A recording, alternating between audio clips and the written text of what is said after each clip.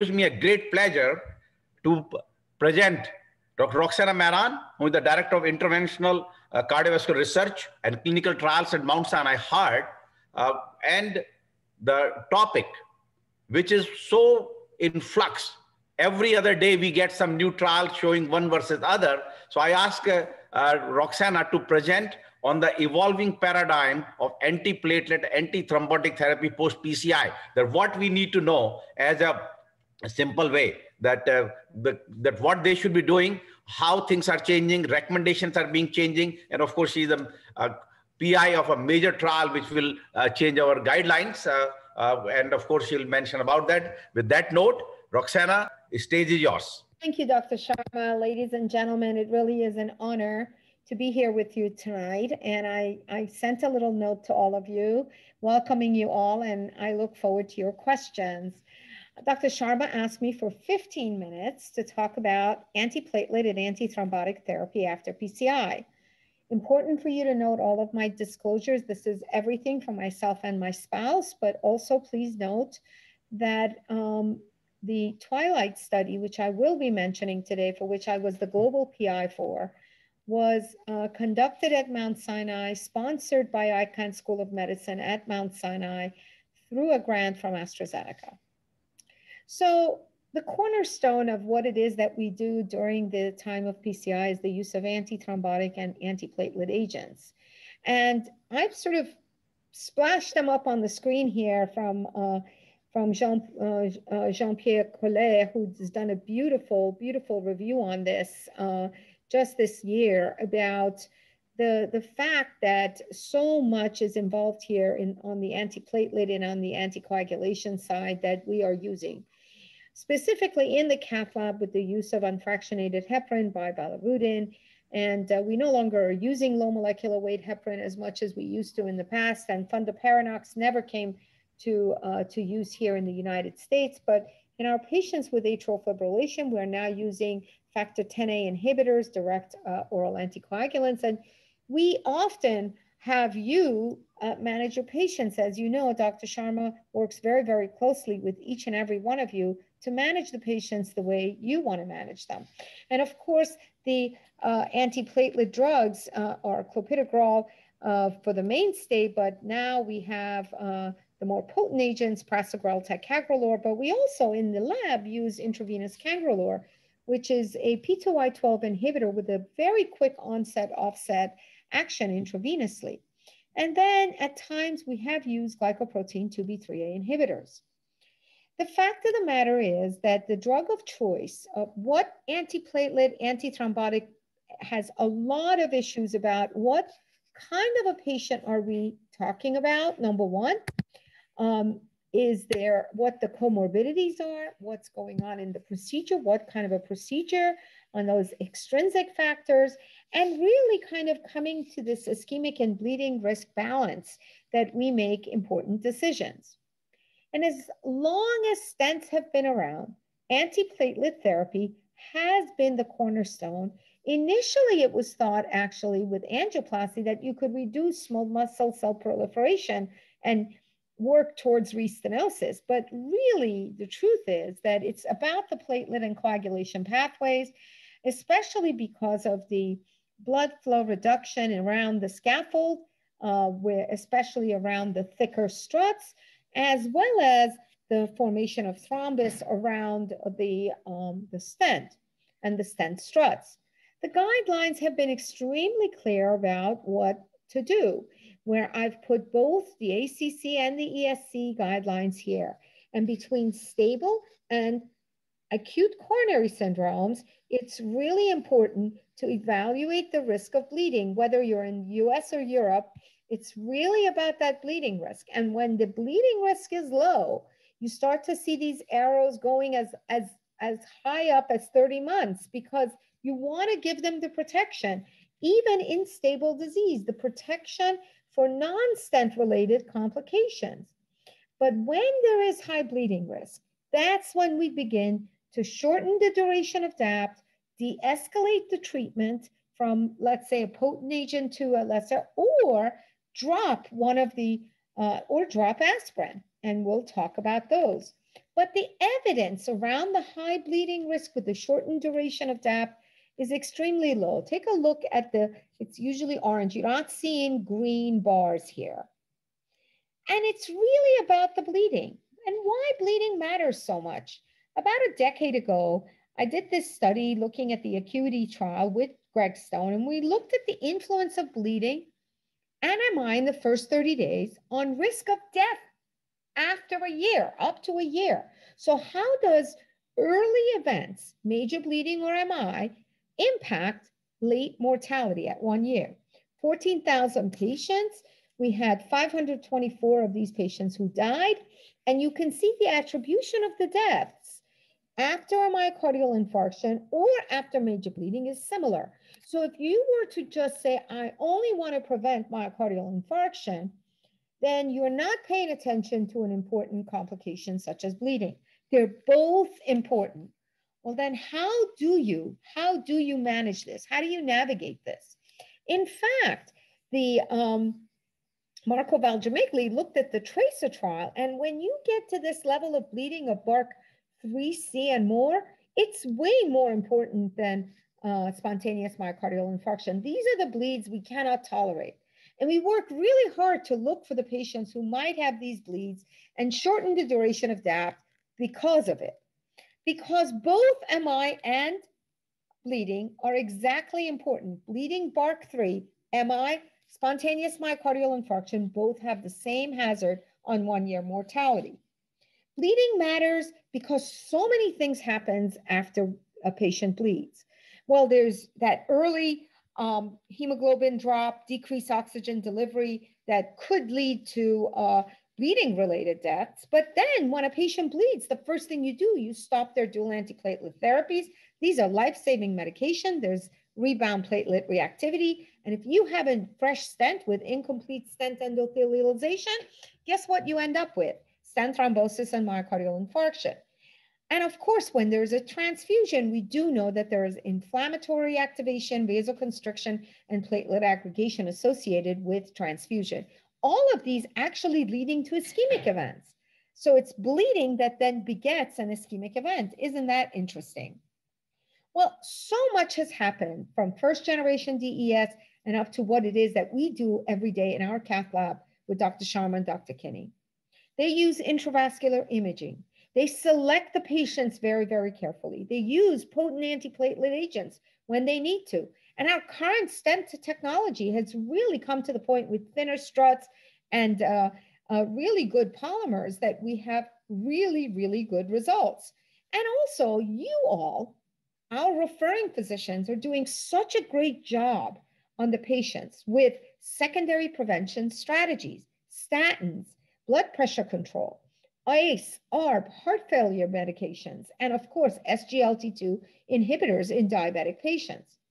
So when you look at all of this, you say to yourself, well, all of these things that have happened, if I want to give somebody a prolonged duration with a good, good amount of antiplatelet regimens, do I really need aspirin?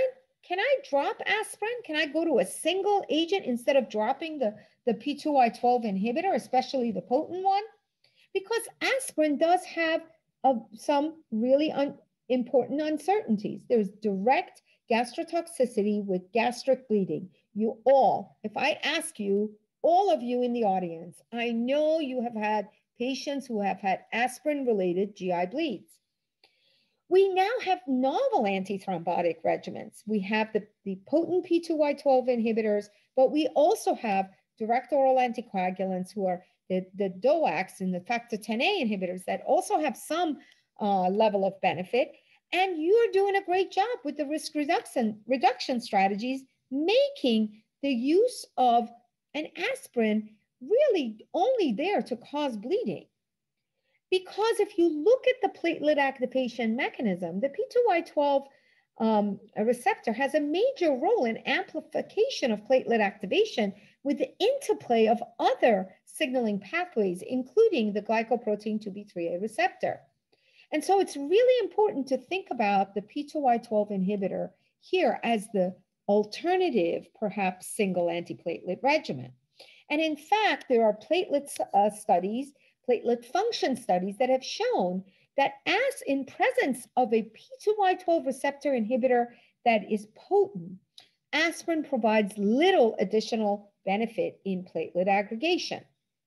So what evidence do we have around this? Well, the Stop DAPT investigators just did this in Japan with the Xience stent, one month of DAPT followed by clopidogrel monotherapy compared to 12 months of DAPT in, in patients, um, all comers, STEM, uh, excluded.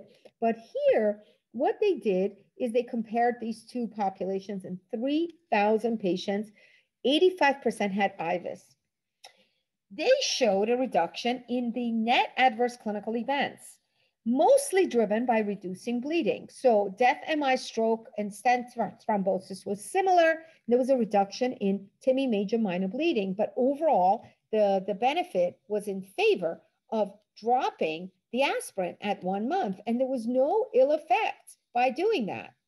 The Smart Choice investigators did three months of, of DAPT followed by P2Y12 monotherapy compared to DAPT for 12 months with three different stent platforms. Similarly, they showed no difference in the ischemic outcomes and a reduction in bleeding.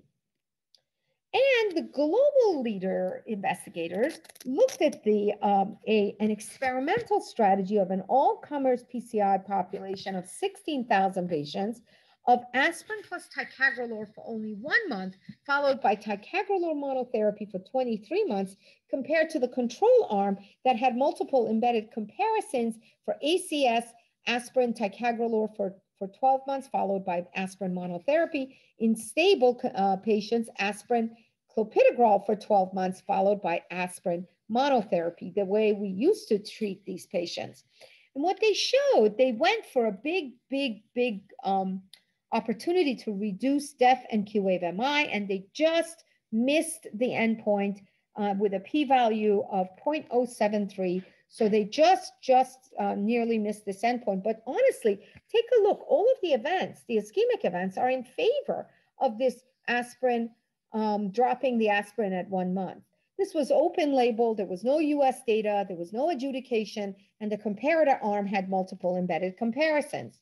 And it was for this reasons, if you can think about it, we wanted to, and, and I have to say, give a lot of credit to Dr. Sharma, who was treating uh, patients um, with, at, uh, especially complex patients um, who were not, who were stable with uh, uh, uh or uh, ticagrelor. He was sending him home on ticagrelor, and he told me, he said, why don't we do a study like this. And so I went back to the drawing board and we designed the largest ever study in a double blind placebo controlled fashion, high risk PCI patients, three months of open label aspirin ticagrelor. If they did well, no bleeding, no ischemic events, and compliant on their medication, they were randomized to receive ticagrelor plus aspirin versus ticagrelor plus placebo for the next 12 months. And then we looked at their events looking for a reduction in bleeding, in bleeding complications without increasing ischemic events. And guess what we found? BARC 235 bleeding. When you look at the, uh, the thing, was a significant, huge reduction, 44% reduction of bleeding. Numbers needed to treat 33. So thank you, Dr. Sharma. It was a great, great idea.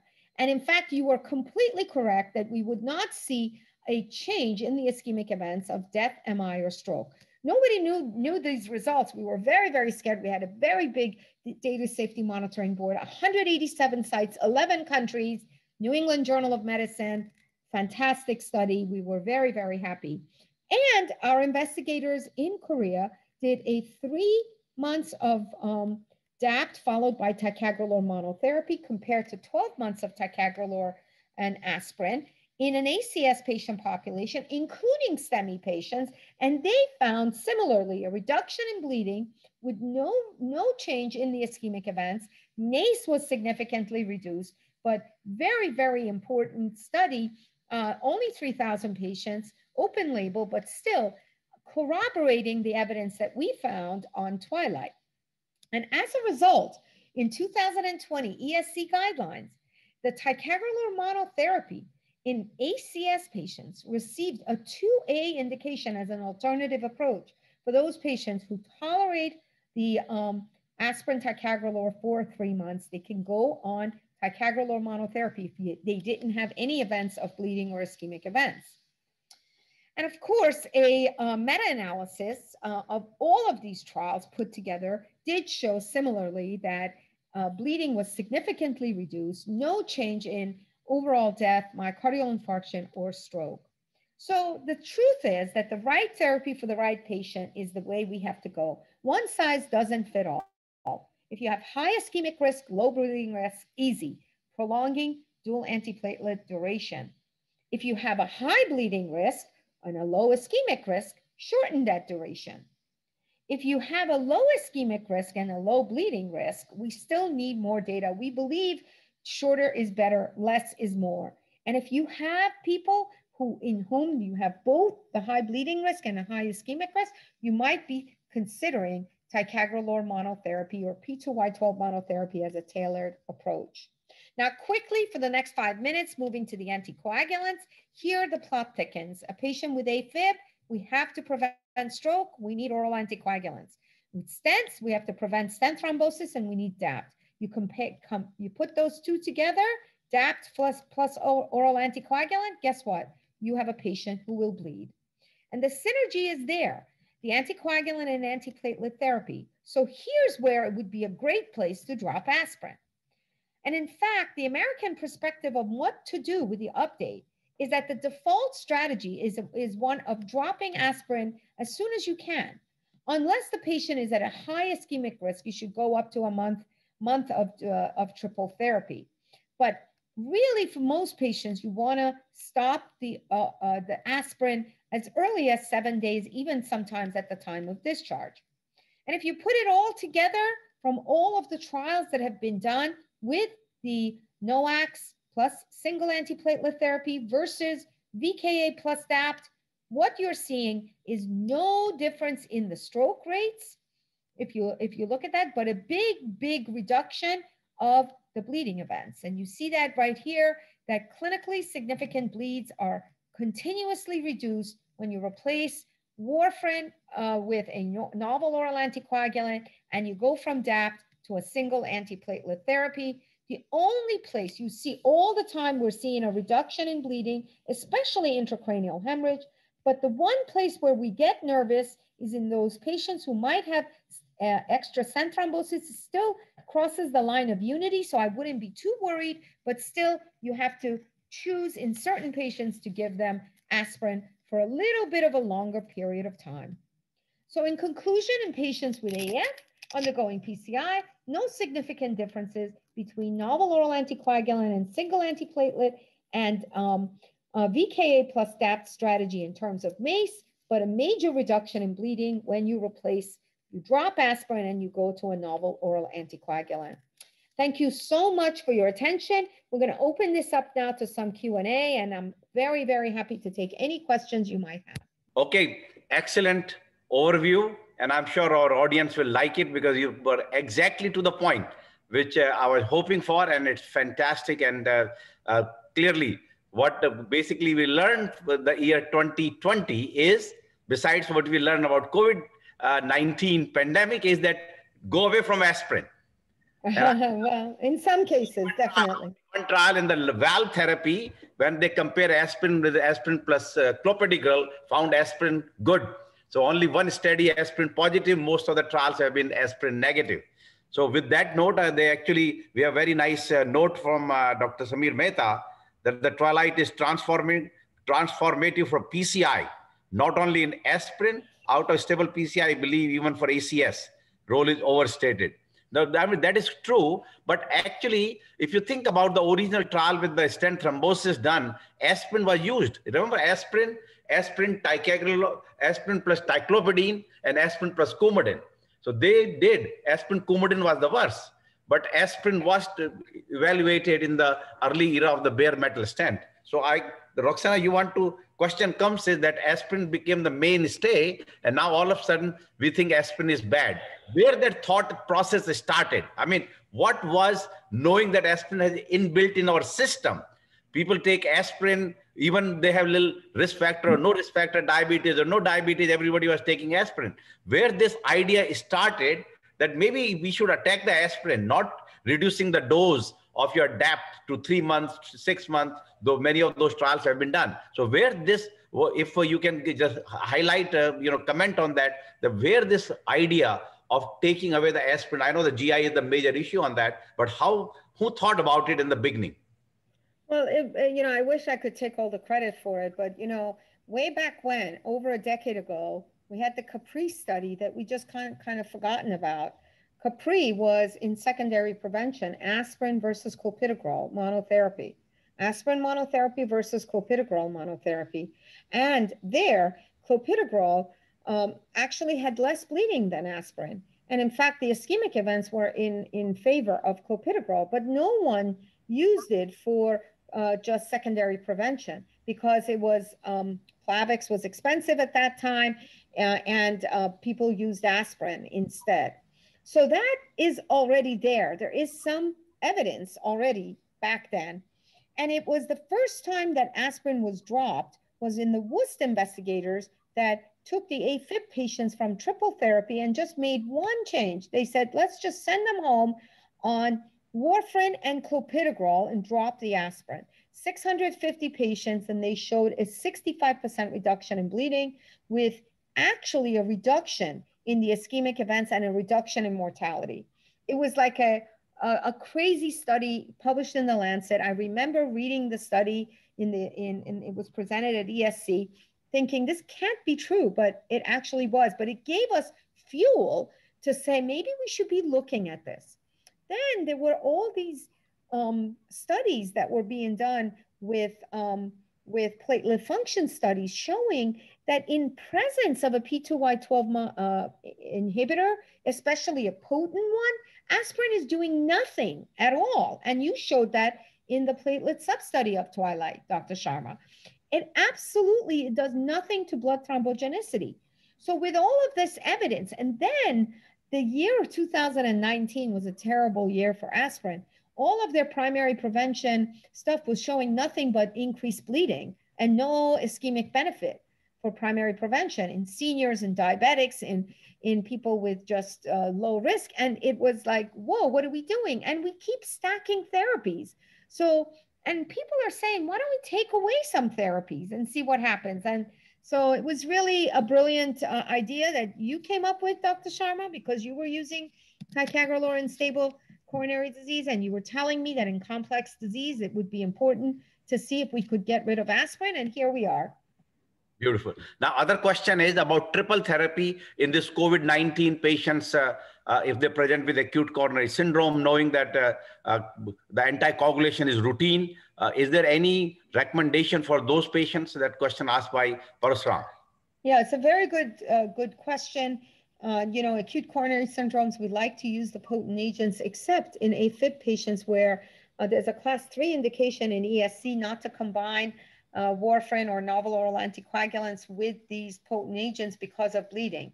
So I think if they have a really low bleeding risk and you're very worried about a lot of thrombus and you put a bunch of stents, you could probably give them like a low, uh, the, the um, no aspirin and go to like prasugrel or ticagrelor at the lower dose uh, and uh, give them um, a, a, a, novel oral anticoagulant. But just remember, in all of those big trials, Pioneer, RE-DUAL, uh, Augustus, the use of prasugrel or ticagrelor was no, somewhere around 5%.